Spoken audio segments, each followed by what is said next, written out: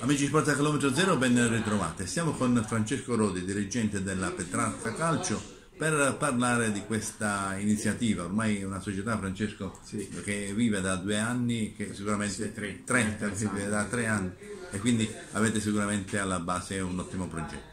Sì, noi abbiamo più che altro prima di tutto alla base l'educazione per il ragazzo, Certo. per il bambino, perché oggi insomma ci capita anche domenica abbiamo avuto un, un episodio dove abbiamo anche sospeso la partita perché non è più Certo. possibile pensare che in tribuna ci sono genitori che vengono a vedere la partita con il rancore dentro. E, e poi parli con i bambini mentre giochi che sono tranquillissimi valutano la partita un- come un divertimento come Comunque così deve essere. e quindi dispiace quando succede queste cose nelle varie tribune durante le partite.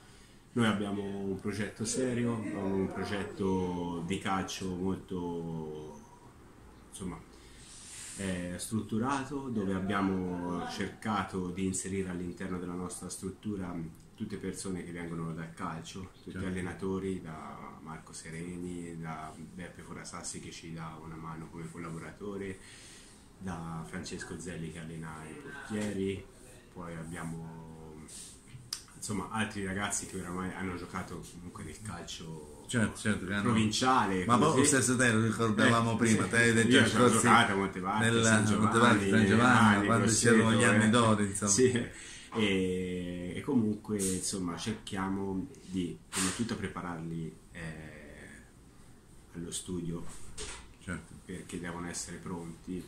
Facciamo riunioni con il Genova Calcio dove ci mettiamo a confronto noi eh, con le loro idee e cerchiamo di poi metterle in pratica nel campo. Certo, proprio c'è questo contatto proprio Certo. per avere come dire, un tipo di allenamento Sì. unificato che vada giù a cascata. Certo, eh, quindi loro sono molto bravi nel far questo perché da noi vengono allenatori molto qualificati che seguono le leve o singolarmente e, dopo noi cerchiamo di mettere in pratica quello che loro insegnano. Dicevamo 100 140 ragazzi, Sì. bel numero insomma, Sì, bel numero. abbastanza importante.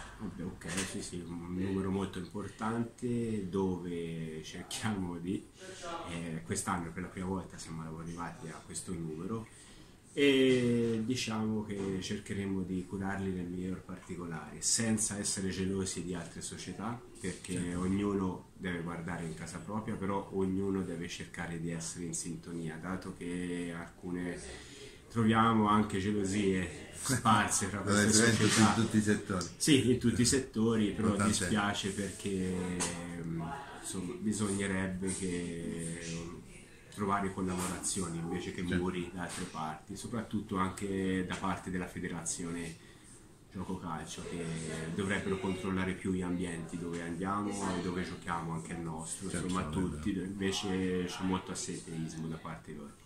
Bene, intanto però intanto la struttura è abbastanza Sì, ottimale. struttura ottimale, va, eh, ristrutturata tutta, ora sì, sì. in futuro avremo anche delle novità che non posso dire, comunque ci, ci stiamo trovando bene. Bene, Francesco. A questo punto l'appuntamento è a Mercoledì mercoledì, prossimo, alle 18.30 nel dove faremo via Bruno Nespoli. così faremo una bella diretta con quello Dante. e Sì, con il capire presidente Carlo Barzotti, l'avvocato Carlo Barzotti, e Andrea Branchi gli allenatori. Bene, quindi ringrazio Francesco Rodi, ringrazio quanti ci hanno seguito fin qui e ringrazio Paolo Barbagli per l'ospitalità e quindi rinnovo il mio invito. Continuate a seguire, grazie a tutti. Sì.